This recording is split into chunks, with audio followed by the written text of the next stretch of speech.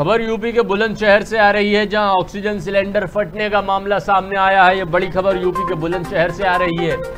बुलंदशहर में oxygen cylinder फटने की खबर सामने आई है। ऑक्सीजन सिलेंडर फटने से दो मंजिला मकान ढह चुका है। हादसे में पति पत्नी समेत छह लोगों की मौत हो गई है। अब तक ग्यारह लोगों का रेस्क्यू किया जा चुका है। ऑक्सीजन सिलेंडर फटने से दो मंजिला इमारत ढह गई है। हादसे में पति पत्नी समेत छह लोगों की मौत हो गई है। बेहद दुखद मामला सामने आ रहा है। अब तक ग्यारह लोगों का रेस्क्यू किया जा रहा है। ये बड़ी खबर हम आपको बता रहे हैं। यूपी के बुलंदशहर में ऑक्सीजन सिलेंडर फट गया है। सिलेंडर फटने से दो मंजिला मकान ढह गया है। बता दें, बड़ी खबर, बेहद संगीन मामला सामने आ रहा है। ऑक्सीजन सिलेंडर फटने से दो मंजिला मकान ढह गया है। वो इस हादसे में पति पत्नी समेत छह लोगों की मौत हो गई है।